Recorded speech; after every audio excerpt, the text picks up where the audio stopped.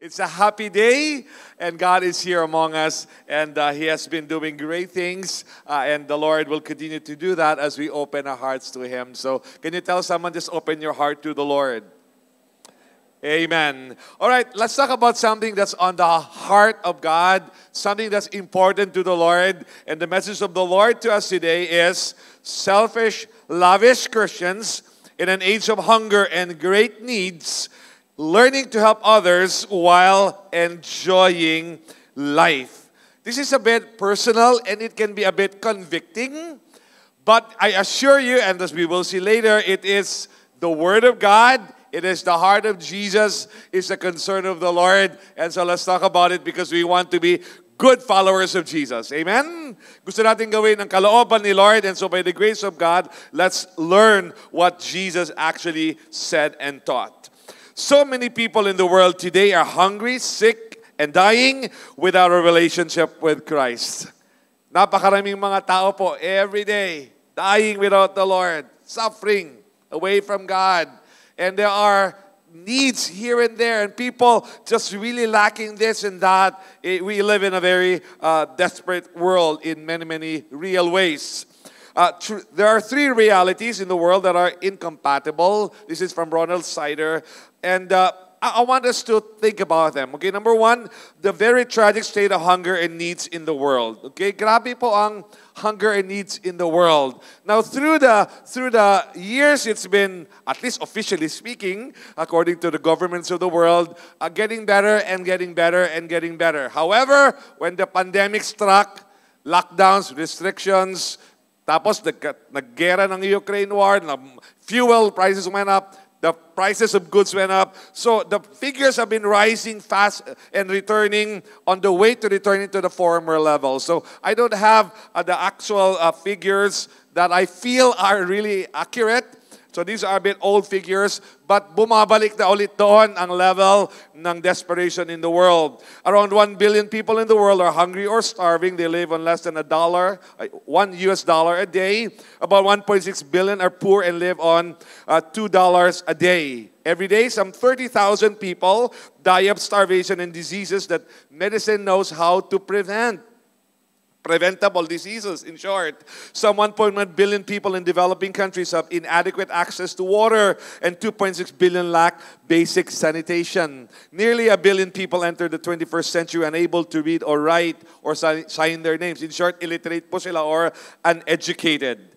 And many of us are so asleep in our comfort so uh, happy that we're okay, that we are not really looking and thinking in terms of the desperate need in our world. So, right now, I want us to watch a two minute video uh, that would just help us to grasp Ano ba talaga yung nangyayari sa ating mundo? Beyond what we would see along the street na may mga beggar and so on. Beyond those things, ano ba talaga ang reality? So let's watch this two-minute video and hopefully our eyes will be opened as we carry on uh, this talk and as we carry on learning the Word of God. So let's play the video.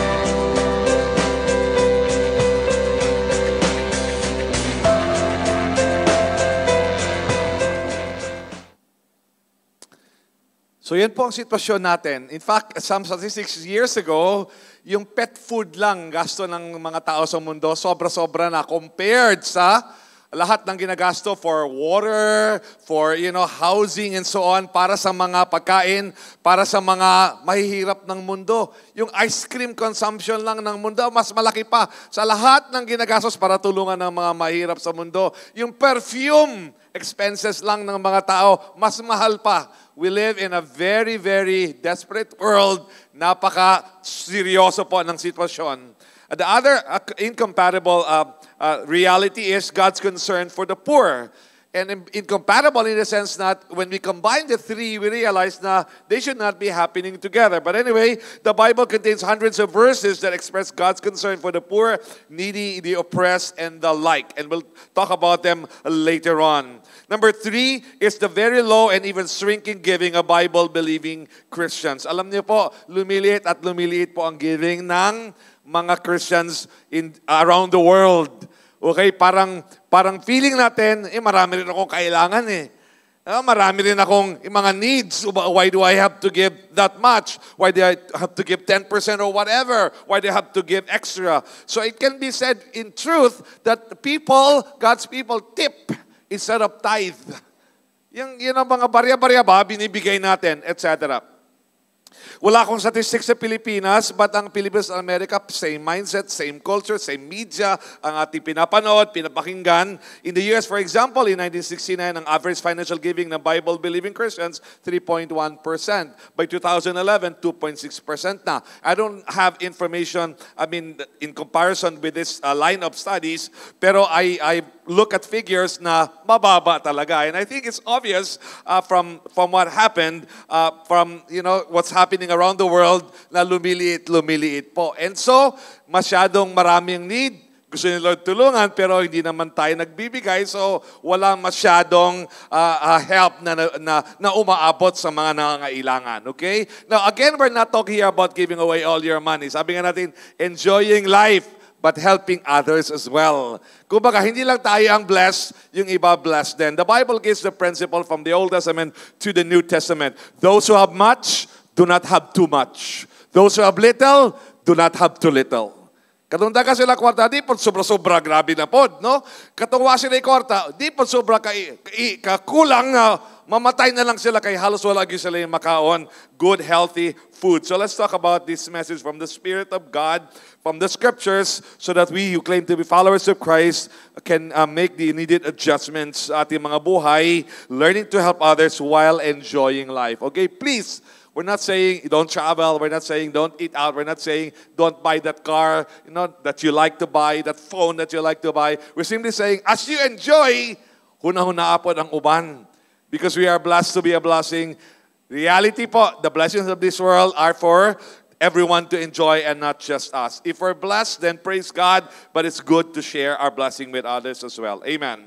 God is very concerned for the poor and needy in society and among the believers. Grabe ho ang concern ni Lord. And the Bible is so strong in this. Kaya you may say, pinag-uusapan natin yan, Pastor? What, what, what, what does spirituality have to do? Ba dapat prayer ang pag-usapan natin, evangelism, discipleship. Bakit yung bigay-bigay sa mahirap? Because it is the heart of God. Psalm 146:7, who executes, God executes justice for the oppressed. God gives food to the hungry. The Lord sets the prisoners free. Galatians 2, 9 and 10, James, Cephas, or Peter, and John, those esteemed as pillars of the church, gave me, that's Paul and Barnabas, the right hand of fellowship when they recognized the grace given to me. They agreed that we should go to the Gentiles and they to the circumcised, that is, to the Jews. All they asked was, ito that we should continue to remember the poor, the very thing I had been eager to do all along. Sa dami ng pwedeng sabihin ng mga apostoles, Peter, James, John, huwag mong kalimutan to ha. Di sila sabi, huwag mong kalimutan ng prayer ha. Huwag mong kalimutan ng, sabi nila, huwag mong kalimutan tumulong sa mga mahirap. Do you get that? Of so many things that they can talk about, mission, discipleship, prayer, whatever. Sabi nila, huwag mong kalimutan tumulong sa mahirap. Yan ang minimum na kailangan natin gawin. So it must be important to God. The early church practiced helping the poor and needy as a major thing in their lives. First uh, John 3, 17 and 18. If someone has enough money to live well and sees a brother or sister in need but shows no compassion, walang awa, how can God's love be in that person? Dear children, let us not love with words or speech, but with actions and in truth. Alam niyo po, alam ko, we have, there's a part of us that wants to help. We're not doubting that. We're simply saying is, sa actual ba? Sa actual. We think we want to do that. We think we're doing that, but in reality, napaka-konti po. Talagang tira-tira lang ang binibigay natin. At sana ngayon, hindi na lang salita, pati sa gawa, mayroon ding magbago, may mag-improve. Amen. And then sabi of Romans 15:26 for Macedonia and Achaia, those were Roman provinces of the first century, were pleased to make a contribution for the poor among the Lord's people in Jerusalem. So God's people helping those in other areas of the world uh, financially or materially. God wants us to help the poor and the needy. So ito po ay kalooban ni Lord. It's a command of God. Say command. Yun po ang kalooban ni Lord. And so today you may say, you know, why do we have to talk about it? In fact, sabi, you may think, why do we have to talk about this? Because feeling ko, hindi rin natin masyadong naturo, pero ulit-ulit sinabi ni Jesus.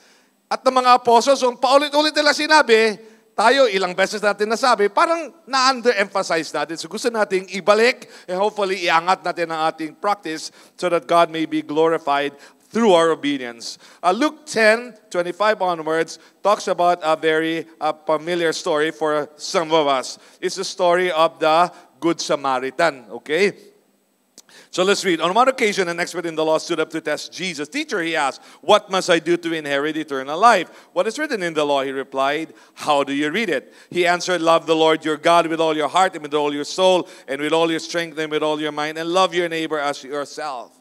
Mahalin mo ang kapwa mo katulad ng pagmamahal mo sa sarili mo. Gusto mong kumain? Siyempre, di ba? Pinapakain mo sarili mo? Siyempre, di ba? Then, bigyan mo rin ng iba ng pagkain.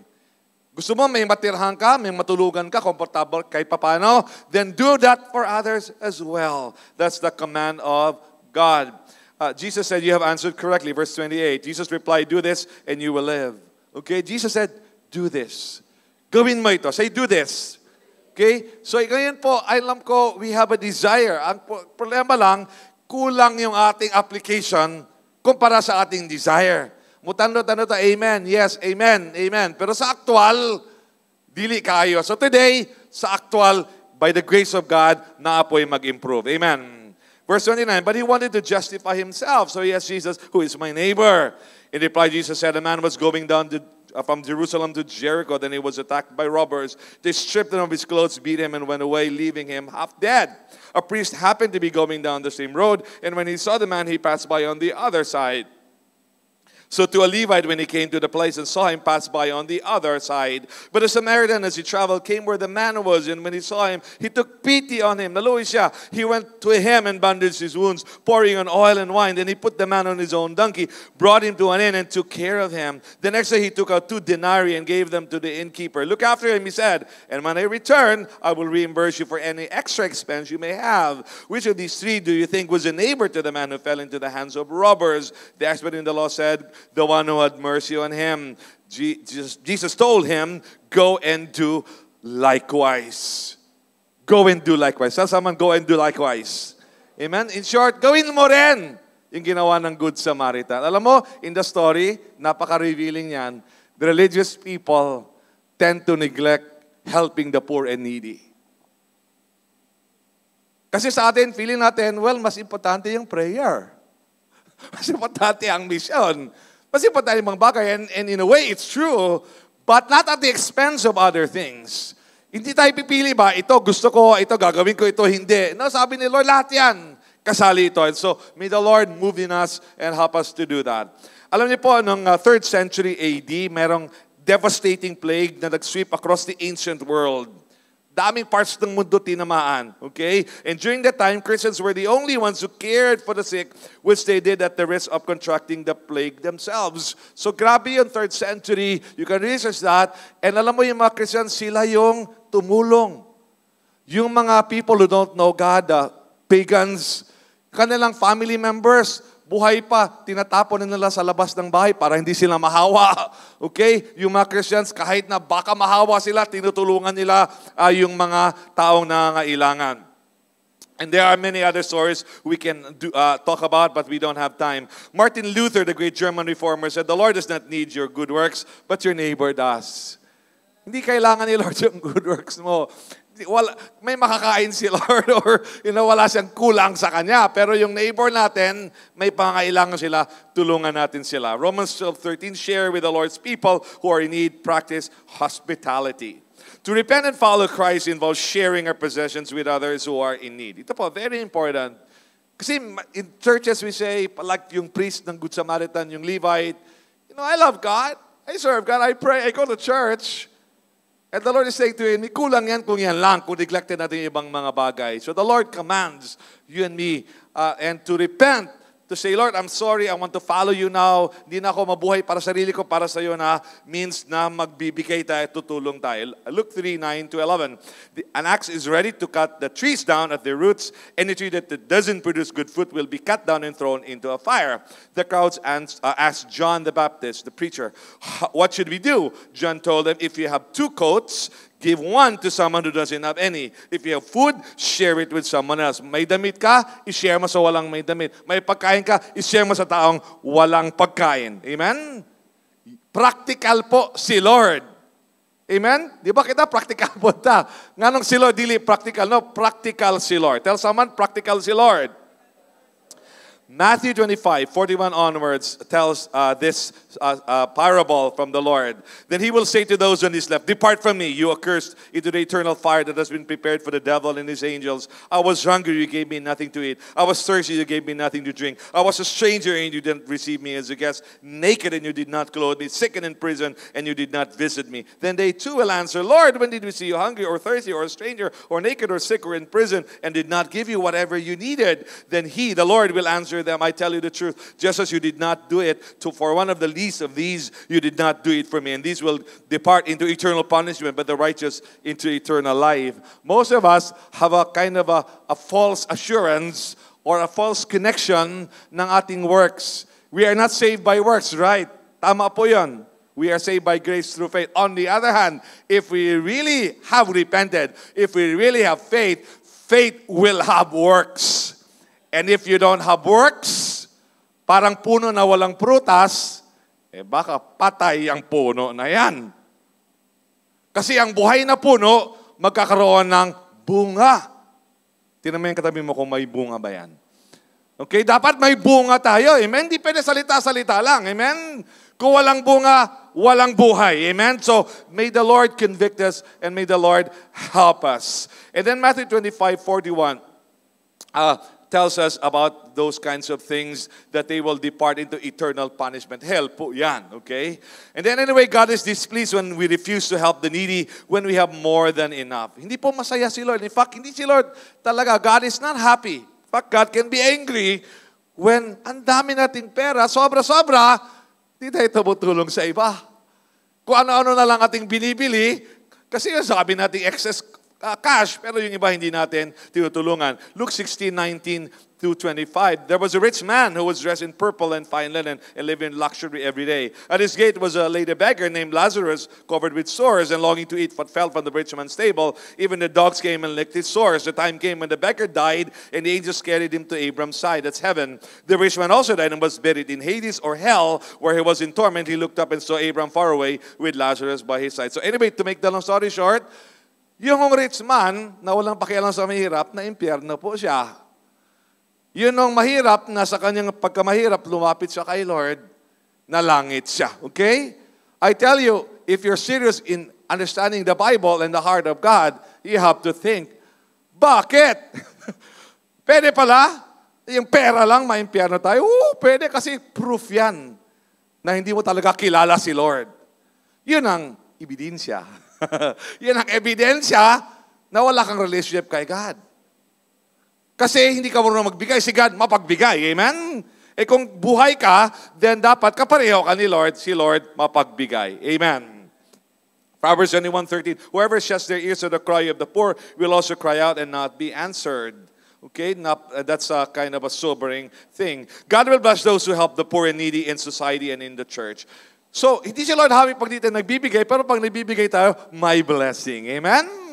Sino gusto ng blessing? Amen? Magbigay po tayo. Proverbs 28, 27, He who gives to the poor will lack nothing, but he who closes his eyes to them receives many curses. Blessed is he who considers the poor. The Lord will rescue him in time of trouble. And then Acts 10, 4, Cornelius stared at him in fear. What is it? Lord, he asked. The angel answered, Your prayers and gifts to the poor have come up as a memorial offering before God. Ito, pakinggan mo ha.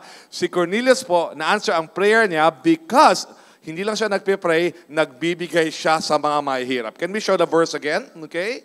So siya po ay tumutulong sa mahihirap. Prayers and gifts to the poor. Tanong, bakit Lord, bakit hindi nasagot ang mga prayer ko? Kasi puro laway lang eh. walang, pre, walang proof na talagang love mo si Lord.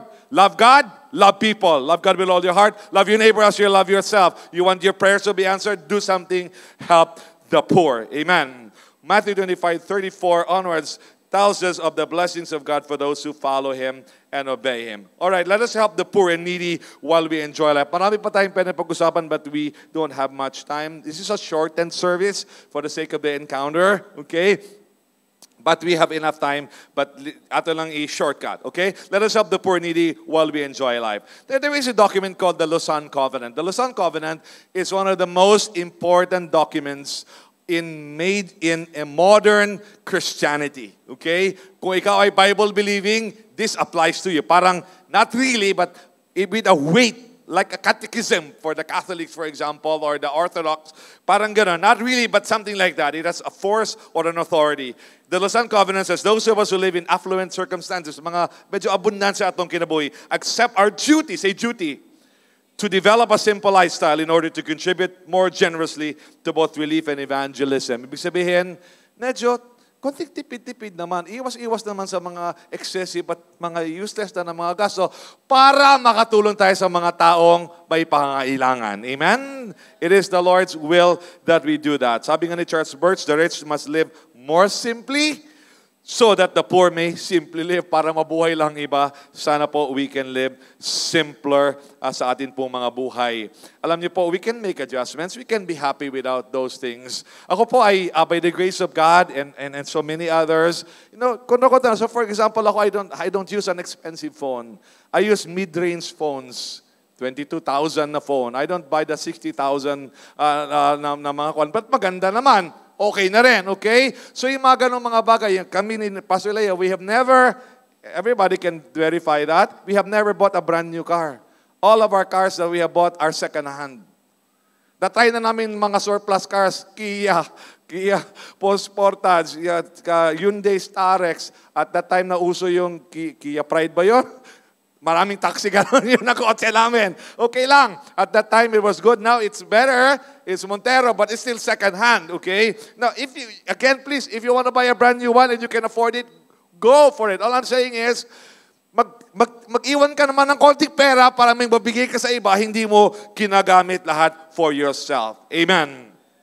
In history, we see we read this. So Eusebius, uh, uh, uh, a historian in the first uh, in the earlier centuries uh, AD, uh, sabi niya that many of the people, including, for example, the the godless Roman Emperor, um, um, what's his name, Julian, sabi niya, sabi niya, grabe yung mga Christians. Uh, sabi niya, when it came about that the poor were neglected and overlooked by the pagan priests, then I think that these impious Galileans, referring to the Christians, uh, uh, observed this fact and devoted themselves to philanthropy. They support not only their poor, but ours as well. Kahit yung mga hindi kasama sa mga Christian circles, tinutulungan nila. So may we help, may we give. 1 Timothy 6.17, Command those who are rich in this present world not to be arrogant or to put their hope in wealth, which is so uncertain, but to put their hope in God, who richly provides us with everything for our enjoyment. Command them, say command them to be to, to do good, to be rich in good deeds, to be generous and willing to share. Dapat o willing to share tayo. Pakisabi sa mo, willing to share.